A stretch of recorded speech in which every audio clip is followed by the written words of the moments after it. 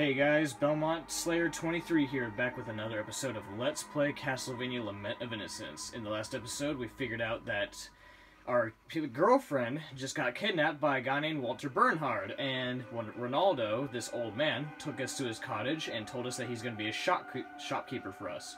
So, what are we going to do? We're in the castle right now, and he told us that there's five monsters guarding this castle, and as you can see here, we have orbs. Red, purple, blue, green, and yellow. These signify the five main bosses of the game, and we have to go through the levels to get to them. But first, we're going to go over to this door right over here.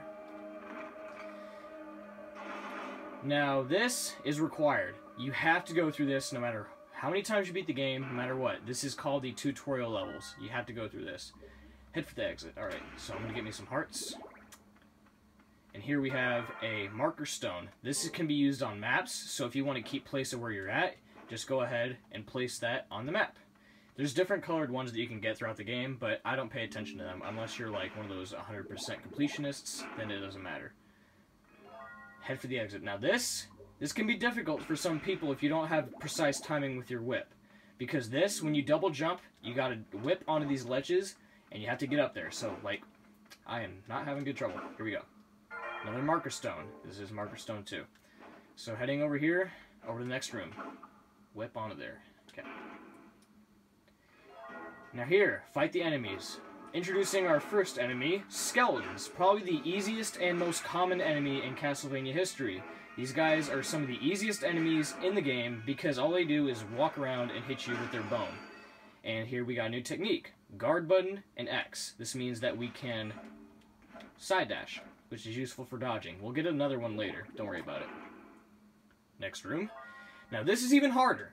If you can't master the other one, if you're not good at that, you're going to have a hell of a lot of trouble with this one. So first I'm going to go down here and grab my Uncursed Potion. And now, up here, I'm going to go ahead and try this. Failed the first shot. Okay, so what you want to do, you got to do the same thing with the ledge grabbing, except you got to do it twice. Bam. Bam. There you go. Mostly that could take a few tries, but it's good for practice. So, here we go. Next room. And final room. This is where we're going to learn about relics. And interesting little fact, this guy, the golden armor, this guy never shows up in the entire game ever again. This is the only spot in the game that this guy shows up. Anyway, the relic that we just obtained was called the Virag statue. What this does is that we can obtain power, like Rinaldo said, when we guard. Those purple glows are magic, MP. So when we get those, we can use it against this guy because whipping doesn't work against him. And like I said, we're never going to see this guy ever again in the game. I don't know why they made that decision because this is probably the only time you're ever going to use this stupid relic. Pretty bad choice on their part, honestly, because I would really like to see the potential of this relic. Now, getting onto the main game. What we're going to do, we're going to head over to this side of the castle now, where there's actually rooms to go in. And also, I've got quite the little treat to tell you guys. In this hallway, there is a secret that you can get to right here. In the middle part of this carpet, right where I'm standing, if you press select, or start, I mean, if you go into your items, or any equip, any of that, look at that. You can duplicate your items. Ain't that cool? Now this makes the game a million times easier, which means that you can duplicate really rare items, potions, anything like that, and sell them for money, which can get you a lot of extra stuff. Now, if you're a pro, you don't have to do this. But look at me, I'm getting freaking, I can get nine whips of alchemy. How ridiculous is that? So, now you know that, keep that in mind, because it's really going to be helpful for those who want to just, you know, make this game easier. Now this blue room right here, this is a save point, so we're going to go ahead and save our progress right here. And we're going to go ahead and begin one of the stages and I think it's not my favorite stage because there's a lot of backtracking in the stage. It's probably the only stage in the game that I hate. Because, I mean, it has kind of good music, but I do not like the fact that you have to constantly look for certain things, look for certain rooms to get to. But, I mean, it's not that bad. So it's right here, map 1. So it's the map of the House of Sacred Remains. So let's hop in. And even if you do get the map, it's going to force you in there. It's kind of like a trick. So they're going to lure you with the shiny object, and bam, you're in here. And here we go, more skeletons. Kill these dudes, get some money out of them, Now, you don't have to do this, I think, because I think the door is already unlocked, but what the heck. And it looks like we can't get in that door because of these two little idiots right here. So we're just going to go ahead and waste these, uh, waste these guys. Can't talk today. Grab that heart. Oh yeah, and I should probably demonstrate the sub-weapon.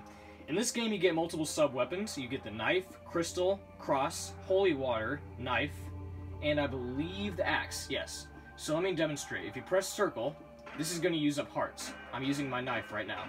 Hearts are not health. Just a reminder, hearts are not health. In the Castlevania universe, hearts are ammunition. Except for, um, Simon's Quest, which is used for currency. But most of the time, it's for, um, ammunition for sub-weapons. So, kill these guys because there's a room right next to us that is required to get to the boss. So kill a skeleton archer, which is a new enemy.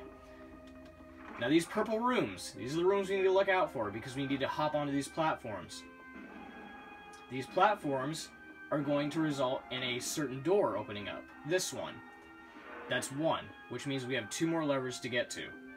Now, let's head on.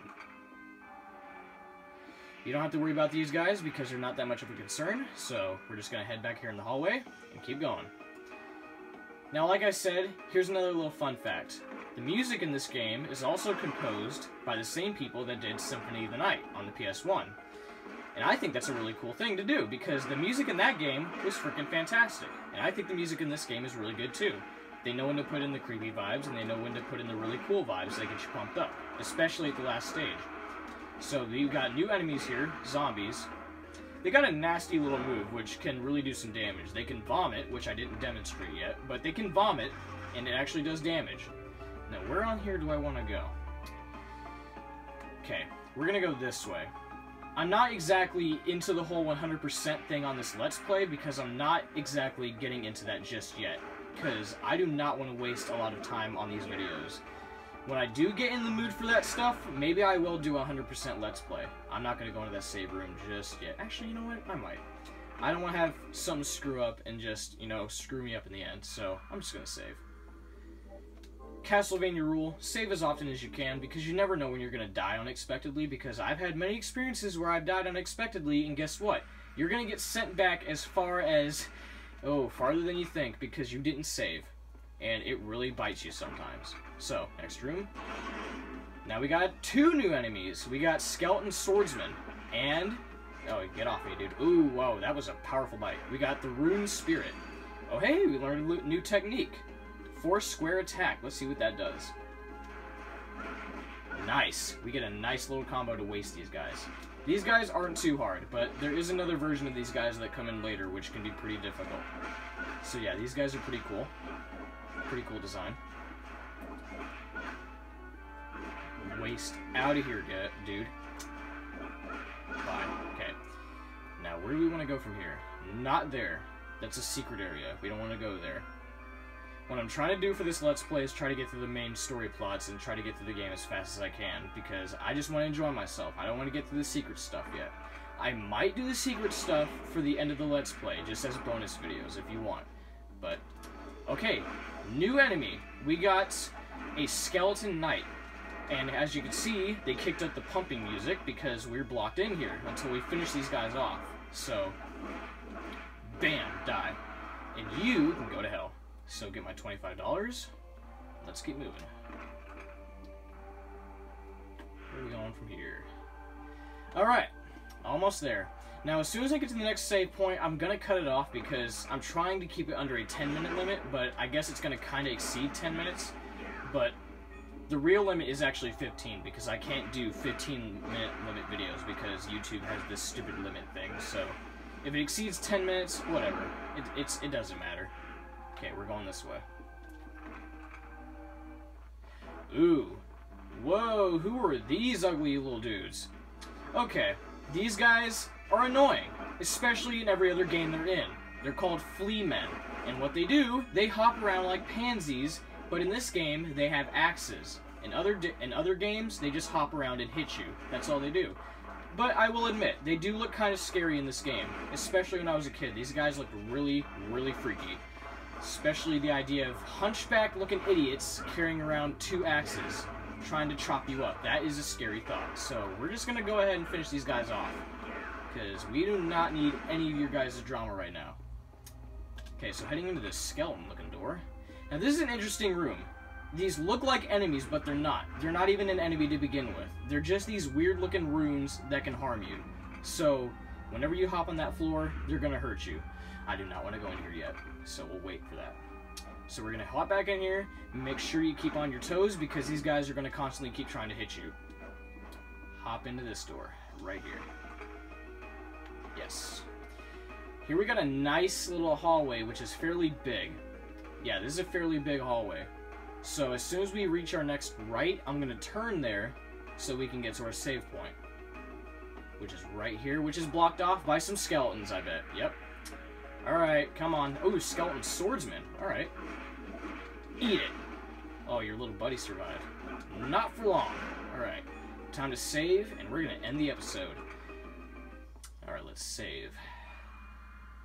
For one little episode, it seems like we're almost done with this whole stage. The stage is actually fairly short, because all we have to do is get through three doors, and then once we get down to the underground place, we fight the boss. So in the next episode, we're going to get the next two doors, and hopefully get down to the underground part of this stage. So, this is Belmont 20, Belmont Slayer 23. I can't believe I butchered my own name. So Belmont Slayer 23, and I will see you guys in the next episode. See you later.